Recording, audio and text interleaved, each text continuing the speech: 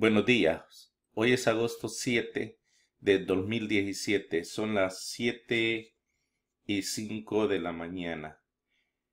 Este día pronostico que esta empresa aquí, Robert Collins, va a subir a un mínimo de 126 dólares de este cierre del viernes pasado.